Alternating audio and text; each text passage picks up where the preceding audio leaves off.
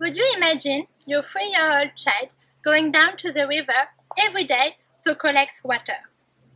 Would you imagine your three-year-old child drinking contaminated water every day and becoming sick because of this? In Vietnam, 2 million people don't have access to clean water.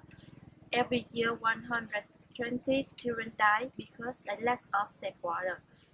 Every day, more than 10 kids are drowning in river and lakes because they want to collect water.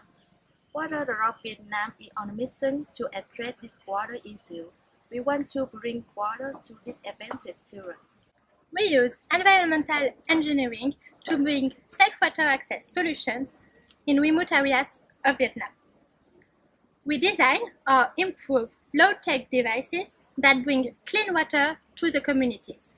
So, what is a low-tech devices? This is a technology that is locally available, low energy demanding, robust, affordable, and sustainable. We create also business around the technology because we want to create jobs and have a long-lasting impact in the community. We empower in the water sector and build sustainable model that bring clean water. When you bring clean water and create job opportunities at the same time, you have an impact on health, hygiene, environment, education, and economics.